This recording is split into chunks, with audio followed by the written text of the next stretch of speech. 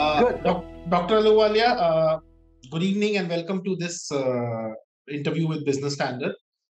Uh, sir, uh, we would like to start with your assessment of the current economic situation. Uh, as you saw over the past few months, especially in the October-December quarter, there was there was signs of recovery across you know whatever data was being released by the government. There were signs of recovery and now the third wave has hit, and again, there are restrictions across states. So, in your view, how broad based was the recovery which was happening, and how affected it will be by this uh, latest round of restrictions because of the Omicron wave? Well, you know, we are going through, uh, all over the world, we're going through a highly uncertain period. So it's very difficult to predict what the current Omicron wave will be like many people think that uh, there will be a huge increase in the number of infections, but that as has happened in other countries, the peak will be reached very quickly and it'll come down again. In which case, uh, it may not be something that will affect the whole of this quarter. But clearly, whatever effect it has will be somewhat negative. Now, uh, I think what this means is that uh, we should have a realistic assessment of what this year is going to be like. I mean, the National Statistical Office had uh, assessed uh, that there would be a growth rate of about uh, 9.2%, but this was really based on uh, the first two quarters. It doesn't take into account what is the most recent development. It certainly doesn't take into account the Omicron. And many other people have given somewhat lower uh, ass- assessments of growth, eight and a half percent. Uh, many people have said, you know, that still looks reasonably good. So I think I have no doubt that we can certainly claim that India saw a strong recovery from the very sharp decline the previous year. I mean, you know, we we declined more than the rest of the world. So we shouldn't be saying we are the fastest growing country. What it means is, although we declined more, we've also recovered. So I would say that there is a recovery, but the real question is what's the momentum behind this recovery going forward? And secondly, although there is a recovery, and this is again not just India, it's true all over the world. I mean, the word K shaped is being popularized by the IMF. Uh, it's K shaped in the sense that the developed countries are doing better than the developing countries. And within the developing countries, the more formal sectors are doing better than the less formal sectors. To some extent, manufacturing has done better, industry manufacturing done better than services, and a lot of the informal sector uh, is in the service area. Uh, sir, now uh, the upcoming budget will, it is expectation of the industry as well as economists, as well as uh, policy watchers like yourself. There is an expectation that the government in the upcoming budget will announce policies and will, will announce measures which will take forward this growth and this rebound that has happened. Um, and so, as per you, and since you have been a veteran of many a budget, as per you, what are the two to three things that the finance minister and the finance secretary and the other secretaries in North Block should keep in mind while preparing the budget? You know, you described me as a veteran of budget, so I should declare that the, the first consequence of that is a realistic recognition that uh, we overstate what the impact of a budget is going to be. Hmm. I mean, the budget has become like the Jaipur Lit Fest. It's the opportunity where everybody interested in economic issues pronounces. And that's good. I mean, it becomes an occasion to discuss everything. It's not as if the budget can address all these questions simultaneously. So I think what are the big issues? Well, issue number one, which people will be looking at, is uh, what is our macroeconomic stance going forward? Forget about uh, you know what it was in the past. Are we on a sound macroeconomic basis going forward? There's been a lot of speculation on whether the budget will hit the fiscal deficit that was targeted. I personally do not think that's a very important uh, issue because this is an abnormal year.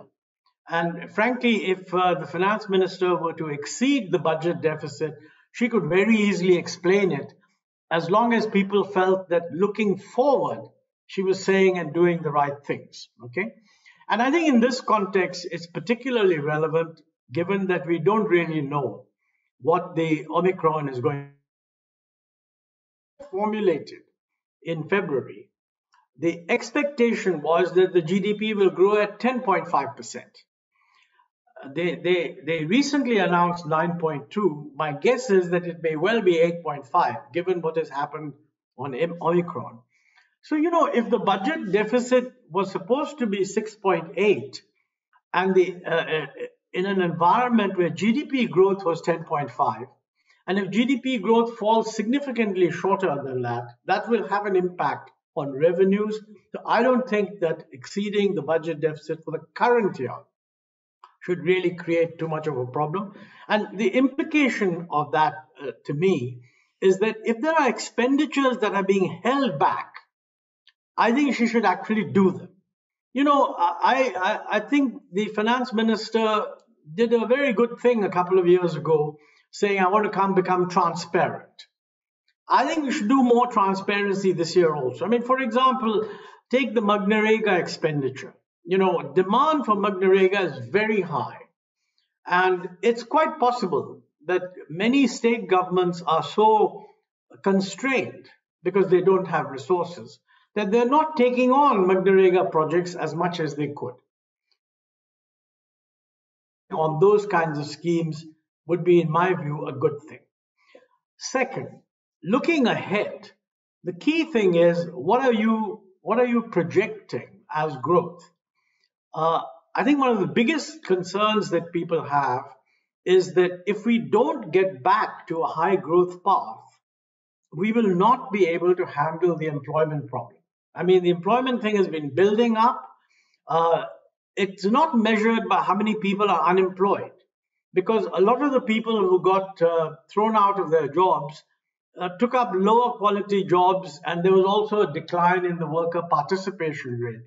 So the unemployment rate may not have increased if you look at the CMIE data. But what is happening is the volume of employment is not what it was two years ago. And yet population has increased, the labor force has increased. So we have a problem. But I don't think that this problem can be really credibly resolved without getting the growth rate back something above 7%. Now, um, I think most objective observers would say that India has the capacity. I mean, originally we were talking about double digit and 8 and 9%. That may not be feasible. But India has the capacity to grow at 7.5, maybe even 8%, providing certain things are done. Now, what happens here is that as soon as this is said, it becomes a general discussion on reforms. And you can announce all kinds of reforms, but most reforms take a long time before they actually begin to have an effect. So I think the most important thing is what can we do in the next year which would have a more immediate effect? And you know, in my view, uh, I would say that the lack of demand that everybody complains about is actually because investment has gone down. Uh, and I don't think the solution is pumping up consumption demand. Uh, because, you know, consumption will recover when incomes recover. And if incomes are not recovering and you're just pumping up consumption, that's somewhat artificial. I'm in favor of doing that for MGNREGA type of expenditure because it's targeted at the very poorest. But I don't think we have an artificial stimulation of consumer durables and things of that kind. So basically, I think if investment has gone down next year, the important thing to do would be to have a really strong stimulus on public investment in infrastructure, because that is something that has to be done by the public sector. And we know that infrastructure is not enough. So whatever we can do, we should do more of. I mean, that's one point. Second, you know, I, I think one of the most important reforms, which has virtually universally been praised as an idea, is the GST. And, you know, for the last year, I mean, everybody seems to agree that we need to make structural changes, that the finance ministry agrees with this view. So the question is, are we going to see that structural change? The problem is you can't expect that to be announced in the budget because that has to be done in the GST Council. And there, quite frankly, you you're faced with a with a problem. I mean, the states are saying that look, you're not compensating us for the GST shortfall of the previous years, and secondly, that compensation is supposed to end with 2022.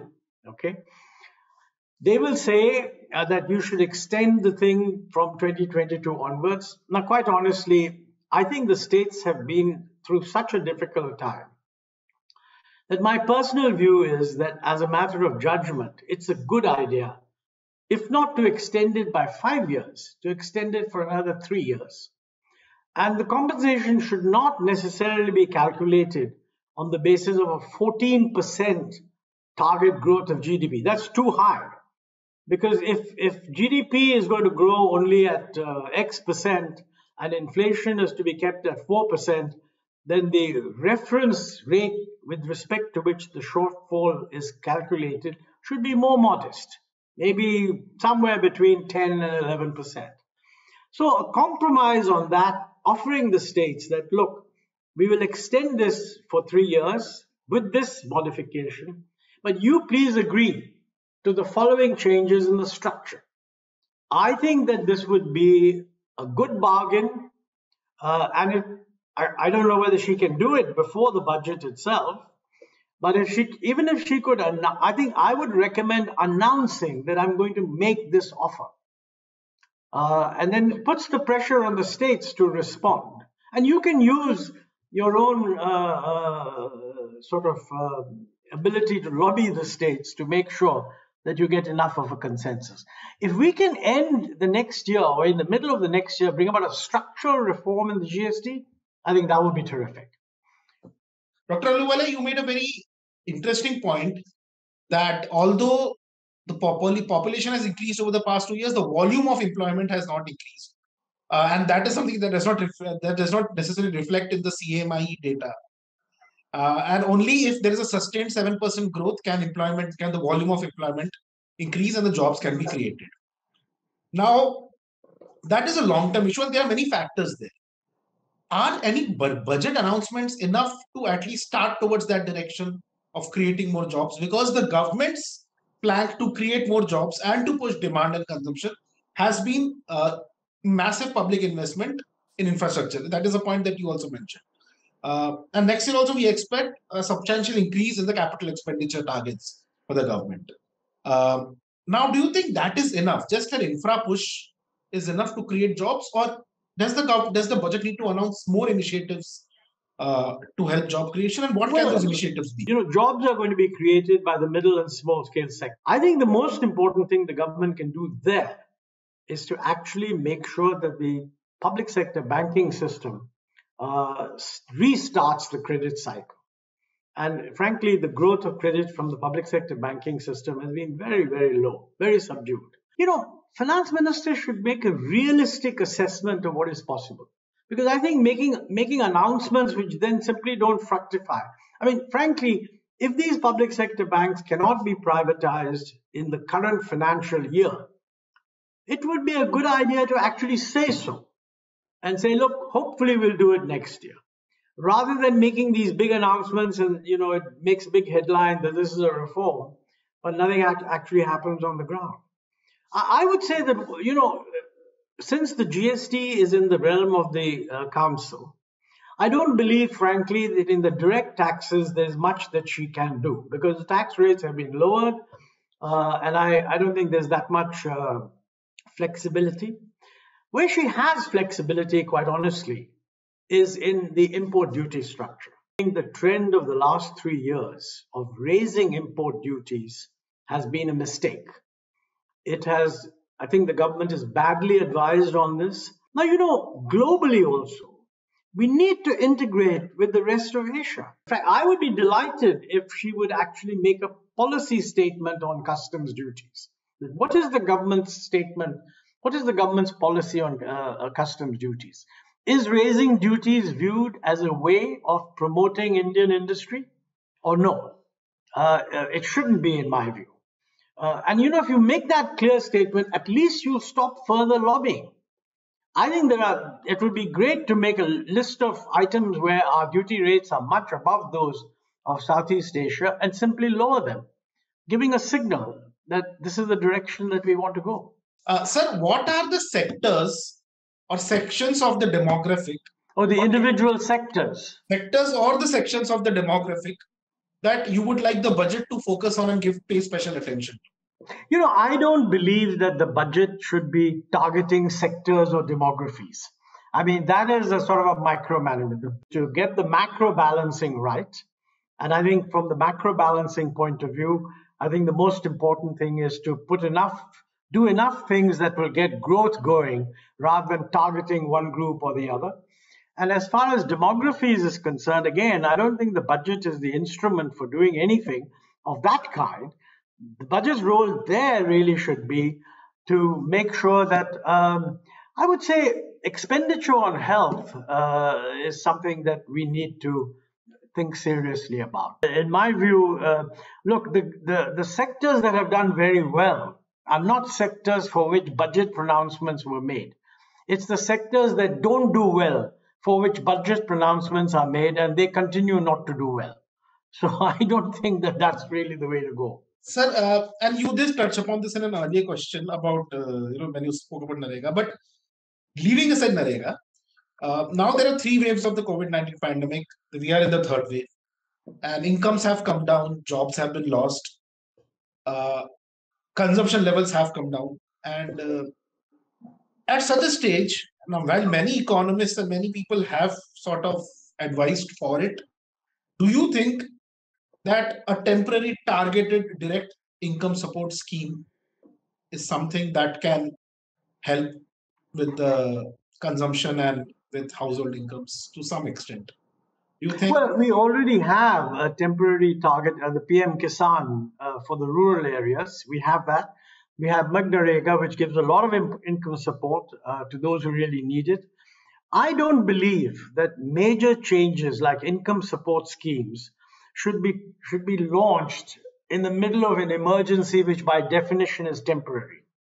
In fact, the resource constraints under which the finance minister has to work are very severe, and new schemes take more than a year to get designed and function. This was a great advantage of MGNREGA that it already existed. It had been working for several years, and it was very easy to say, all right, instead of 100 days, you're allowed 150 days. You could even say that uh, we're raising the wage temporarily. But if you start a new employment or a direct cash transfer scheme, the leakages will be massive. To my mind, more expenditure in infrastructure will stimulate construction and I think the stimulus to construction is very desirable. Uh, it will generate a lot of employment, which will help. Personally, I think if they were to do the GST restructuring, one of the obvious things that should be done is to lower the, the GST rate on cement. You know, the GST rate on cement is 28%. Now, cement is not a final luxury consumer good. I mean, uh, cement is actually every factory uses it, every house uses it. They should have a much lower rate. Uh, but again, that's something can only be done in the GST Council. Actually, it would be worthwhile for the finance minister to say that it is not in my power to do it, but I'm going to propose to the GST Council. You know, the problem with the present rate structure 50% of the commodities you consume are exempted. Now, this is just wrong. I mean, you know, maybe that 50% should be made 25%. Other commodities should bear a normal tax, okay? Uh, and, and high-end tax rates should be lowered, and that's how you can, instead of having four basic tax rates, 5%, 12%, 18%, 28%, you should just go to a 12% and a 15% or something like that. Sir, thank you so much. Um, Dr. Ahluwalia, thank you so much. If you like this video, share it and subscribe to Business Standard. For more news, views and insights, log on to www.business-standard.com. Do also follow us on YouTube, Twitter, Facebook, Instagram, Telegram and LinkedIn.